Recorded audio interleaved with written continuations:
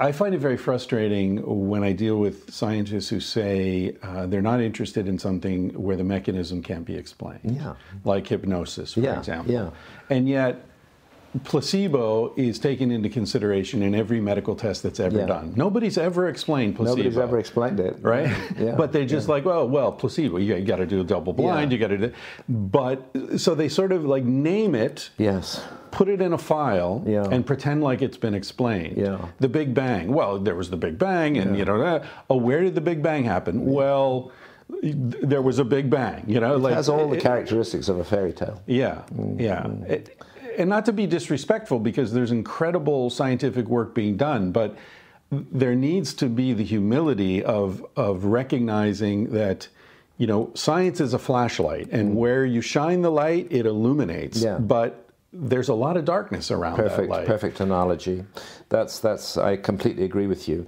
And you know, I bumped up against this a, a lot over my writing career, but perhaps particularly with regard to the issue of consciousness, which which. Um, uh, is regarded by an astonishingly large faction of, of uh, credentialed scientists as simply an epiphenomenon of brain activity. Right. That, that, that, that it can all be reduced to this, you know, a few pounds of jelly inside, inside our skulls. And state that as though it is an empirically proven fact when it isn't an empirically proven fact at all. It's a, it's a theory, it's a reference frame. It might be true, but it equally well might not be true. And what it does is it discourages inquiry into other areas of reality that don't fit that particular reference frame. So, the way that science, for example, has responded to uh, Rupert Sheldrake's work um, it has been very dismissive, whereas in fact Rupert is, Rupert is producing um, scientific experiments that are statistically significant, Yeah. uh, which indicate that phenomena like telepathy